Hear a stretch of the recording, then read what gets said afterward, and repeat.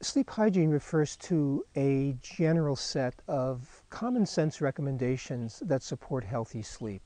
So this includes things like um, get daily exercise, uh, keep a regular sleep-wake schedule, that is, get up and go to bed at about the same time every day, uh, don't drink excessive amounts of coffee or excessive amounts of alcohol in the evening. Um, recommendations like this are important and they're necessary for good sleep, but research has found that they're insufficient. People need more than just information about good sleep.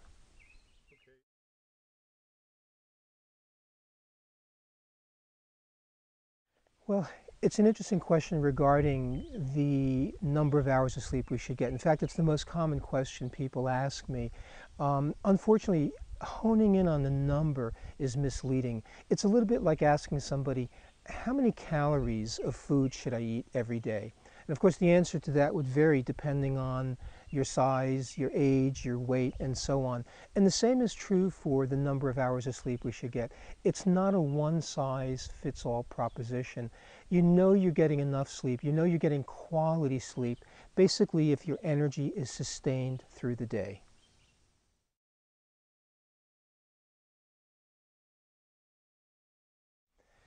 Sleeping pills. Uh, Sleeping pills, of course, are very controversial. Uh, I wouldn't say that they're never useful, but I think that they're seldom useful, uh, possibly during a medical crisis or a personal crisis for a few nights. By and large, the data shows that sleeping pills don't work well. They often lead to dependence. They can undermine a person's individual sort of personal efficacy, their ability to fall asleep. And there's been some data suggesting that in the long run, sleeping pills actually have a very detrimental effect on our health.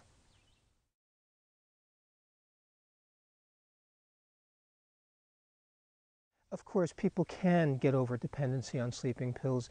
Uh, it, it, it, often takes the help of a professional and involves a process of slowly weaning off the sleeping pills. In my work, I tend to use natural substances like valerian, hops, melatonin to build a bridge away from the sleeping pill so people can get off them. And also, of course, we, we rely on a lot of psychological or what we call cognitive behavioral techniques, which work better than sleeping pills and their positive effect is longer lasting.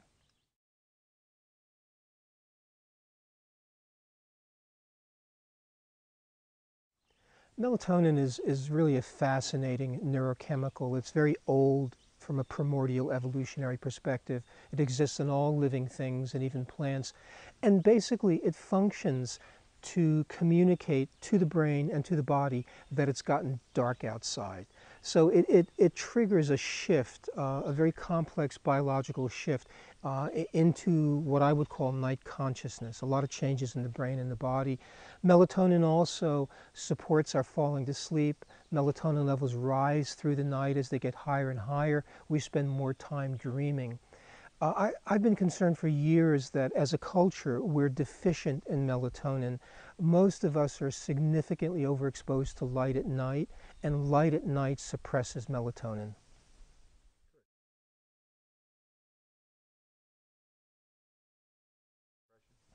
There's actually a very strong relationship between insomnia and depression. We've known this for years. We used to think that insomnia was a characteristic symptom of depression. What we know today is that if people experience insomnia off and on for about a year, it dramatically increases their risk for depression. It looks like sleep loss over a long period of time will cause depression. And then, of course, the depression makes it more difficult to sleep, and we have a vicious cycle. When an individual is dealing with depression, it's always critical to simultaneously address their sleep concerns.